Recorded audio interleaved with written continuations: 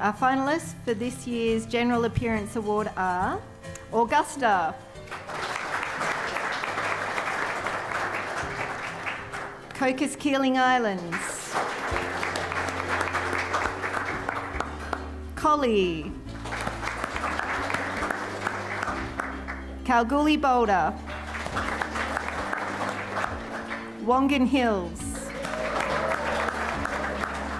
and Yalgoo. And the winner is Yalgoo.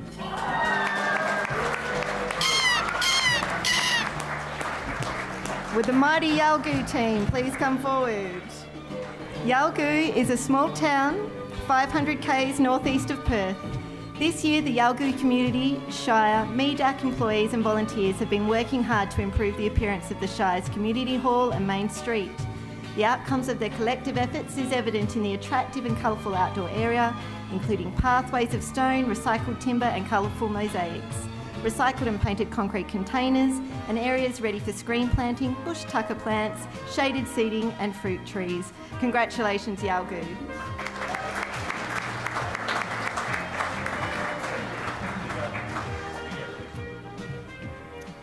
Well, I must admit, uh, wasn't really expecting that. Uh, we've got a couple of councillors here today, but I really must admit the, the staff that were involved, that uh, contributed to this, really do get involved with the community.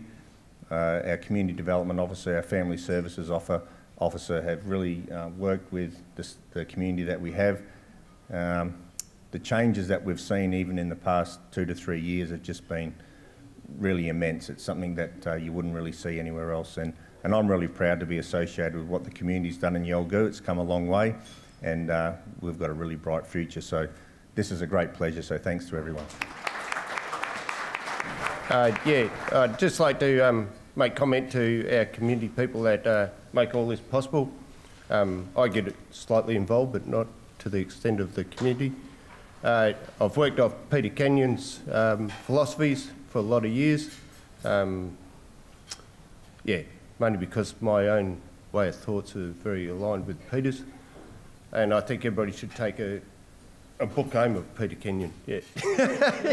and, and it's taken well, eight years, I think, to change the mindset of uh, our people, but they're becoming a very strong community uh, because of that way of uh, approach, I suppose, under Peter Kenyon's uh, philosophy. Yeah. So thank you, Peter. Yeah. Congratulations, Yalgoo, and thank you, Brett.